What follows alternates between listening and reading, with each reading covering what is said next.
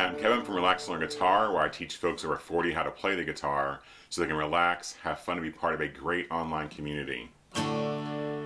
This is going to be a little tune on Can't You See by the Marshall Tucker Band, great for a beginner lesson with a little bit of uh, work on the strum pattern.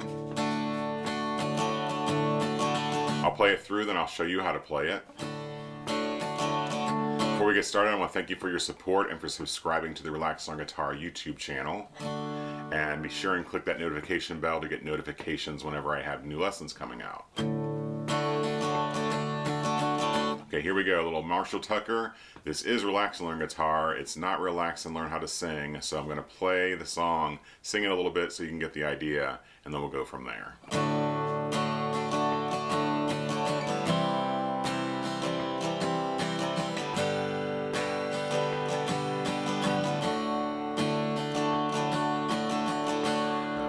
Take a freight train down at the station. I don't care where it goes.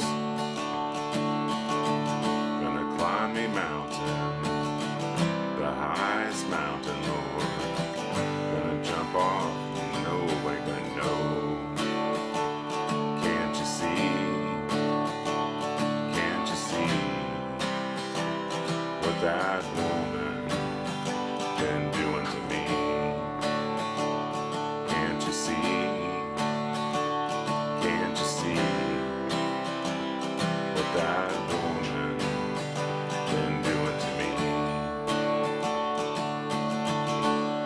hopefully you get the idea of the song there. My voice is kind of low, but in any case, a great song for beginners. You're going to need to learn a couple of chords, obviously. First one's a D chord. If you haven't played that one in a while, you got your index finger on the uh, third string, second fret, your middle finger on the first string, second fret, and your ring finger on the second string, third fret, the D chord. That's what starts on. Then you got a C. C chord, you got index finger on the second string, first fret. You've got your middle finger on the fourth string, uh, second fret, you've got your ring finger on the fifth string, third fret. It's your C chord. And a G chord. Index finger, fifth string, second fret. Your middle finger, sixth string, third fret. And your ring finger on the first string, third fret. The great thing about this is you just need those three chords, three chords in the truth, and you're good this song down. So a D, a C, and a G. Now, there is a strum pattern for this song, obviously. I'm going to suggest if you're a true beginner, we're just going to do all down strums until you get used to changing these chords. So it's totally fine to play. You're going to start on a D, take it nice and slow. You're going to tap that toe. When your toe hits the ground, you're going to strum down. Just four down strums on the D, four down strums on the C, four on the G, and back to the D for four. Nice and steady. Just focus on the rhythm and being in time. So start that way, and you can play the whole song that way. Just uh, strum along with the record, play those uh, uh, chords in that order. D, C, G,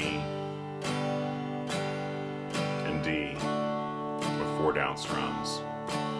Once you got that going, you change those uh, chords with no problem and you got them nice and smooth, sounding clean. Move on to the strum pattern. Just go ahead and first mute your strings. I'll slow this down.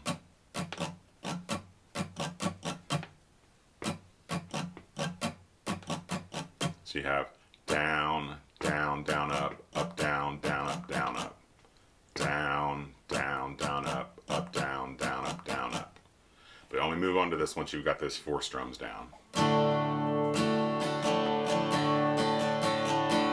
Starts on a D. Down, down, down, up, up, down, down, up, down, up. I get asked a lot about those up strums and if you have to hit all six strings, and the answer is no. For this D uh, chord, you're going to make sure you're hitting like at least the fourth strings, uh, four, three, two, and one. Hit a couple of those fifth strings in there, that's okay. And you don't really play the sixth string. Down, down, down, up, up, down, down, up, down, up. To the C. When you strum down on that C, you want to start on the fifth string down. And for those up strums, if you only hit the first two or three, four strings, it's fine.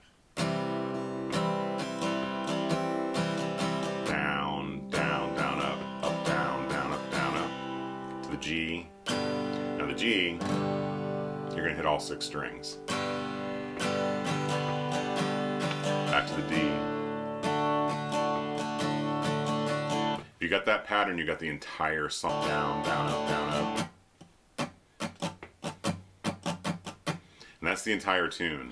Uh, for the intro and for the really cool musical with the flutes and stuff, there's a lot of stuff going on in this song. You can just strum those those four chords over and over.